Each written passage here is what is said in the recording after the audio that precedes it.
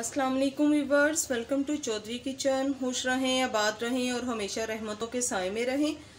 आज मैं आपके लिए रेसिपी लेके आई हूँ, शलजम पालक। शलजम गोश्त तो सबने खाया होगा, आप शलजम पालक बना के देखें, बहुत मज़ा आता है। इसको लिए मैंने क्या क्या लिया ये मैं साथ साथ आपको बताती हूँ। ये मैंने आधा कप इसमें घी का लिया, घी ज़्यादा जाता है। ऑयल ले लें, घी ले लें, कुछ भी ले लें। और एक छोटा सा मीडियम साइज़ का मैंने प्याज डाल दिया। ये साथ साथ बनाई जाती हूँ, मैं साथ साथ बताती हूँ आपको। इसको हमने लाइट ब्राउन करना है। इसको हमने लाइट ब्राउन करना है। और इसमें साथ साथ मैं आपको बताती जाती हूँ कि मैंने क्या क्या डालना है। ये बहुत मज़े की डिश है, माशाल्लाह बहुत मज़ा आता है इसका। पालक और शलजम इसके पास हल्का सा मैंने लाइट ब्राउन करना है। अगर आप मेरे चैनल पे नहीं हैं तो आप मेरे चैनल को जल्दी से सब्सक्राइब कर दें और बेल आइकन पे क्लिक कर दें। ताकि मेरी आने वाली रेसिपीज़ नई सबसे पहले आपको देखने को मिले। शेयर करें लाइक करें। माशाल्लाह, ये बहुत अच्छी रेसिपी है और इसको बनाएँ और मुझे कमेंट में बताएँ। बहुत अच्छा बनता है। ये देखें व्यूवर्स ये लाइट ब्राउन हो गया, इससे ज़्यादा नहीं हमने करना। फिर उसका कलर जो है वो ब्लैक ब्लैक में आएगा। ऐसे हम करेंगे तो बहुत प्यारा सा गोल्डन सा कलर आएगा हमारे खाने का। एक चम्मच लहसुन और अदरक का पेस्ट ये टेबल स्पून मैं आपको साथ साथ बताती हूँ हमने क्या क्या करना है।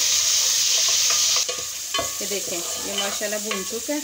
प्याज और हो गया थोड़ा सा। इसलिए पहले हल्का रखें, फिर लहसुन अदरक डालें। अब इसमें मैं थोड़ा सा पानी डाल दूँ ताकि ये जलेंगे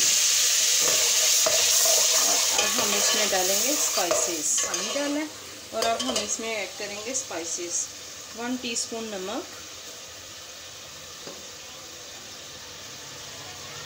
One and half teaspoon red chilli powder और हाफ़ टी स्पून इसमें हल्दी का। हल्दी एक टीस्पून डाल। लें इसमें हल्दी ज़्यादा जाती है ग्रीन चीज़ों में। और फिर कलरफुल हो जाती है। वो बहुत अच्छा कलर आता है। हल्दी ज़्यादा डालने से। इसको हम थोड़ा सा भूनेंगे। मसाले को। तो माशाल्लाह कितनी अच्छी लुक आ रही है इसकी। इसमें कोई टमाटर नहीं जाएगा, कोई दही नहीं जाएगा। ना कोई साबुत गर्म मसाला जाएगा, बस सिंपल सी डिश है। क्विक क्विक रेसिपी है ये, माशाल्लाह जल्दी बनेगी। अब हम इसमें पालक डाल के उसको भूनेंगे।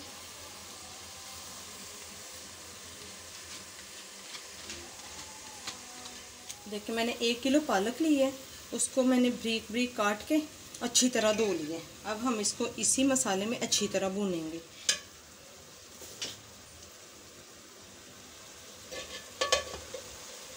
बिस्मिल्लाहिर्रहमानिर्रहीम। चाहे आप गोश्त में भी अगर बना रहे हैं ना शलजम, उसमें भी अगर थोड़ी सी पालक डाल दें तो बहुत मज़े से करारे करारे से बनते हैं, बहुत मज़ा आता है इसका। उसमें भी ये पालक डल जाती है। अब मैं थोड़ी देर इसको भूनती हूँ, जब तक इसका घी ऊपर नहीं आ जाता। ये देखिए वीवर्स इसका ऑयल निकलना शुरू हो गया। अब इसी पे हमने, ये मैंने एक किलो शलजम लिए थे और एक ही किलो पालक ली थी। अब हम डाल देंगे ब्रीक ब्रीक कटे हुए शलजम। शलजम माशाल्लाह बहुत अच्छे आ रहे हैं, बहुत नरम नरम से थे। बहुत अच्छे शलजम में जल्दी से बन जाएँगे ये देखें माशाल्लाह। खुशबू भी इतनी अच्छी आ रही है, मैं आपको बता नहीं सकती। आप बनाएँगे तो आपको पता चलेगा कि वाकई ये भी कोई चीज़ है। इसको मैं भून के, फिर पानी डाल के मैं आपको दिखाती ये देखिए, माशाल्लाह पकना शुरू हो गया है, ये भून चुका है। अब इस बेस पे इसी में पानी रहे क्योंकि इसको तो अभी हमने गलवाना है।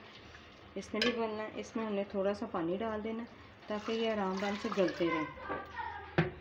जब तक ये अच्छी तरह नहीं गल जाते इसको बॉयल आएगा तो मैंने स्लो फ्लेम पे इसको रख देना है, इनको गलने तक। फिर मैं आपसे मिलती हूँ। देखें वीवर्स माशाल्लाह से ये पक पक के सारा पानी इसका खुश्क हो गया और देखेंगे कितनी अच्छी तरह गल गई हैं। अभी भी मैं इसको थोड़ा सा मैश करूँगी ताकि ये पालक के साथ मिक्स हो जाए। ये मैश करके मैं आपको दिखाती हूँ।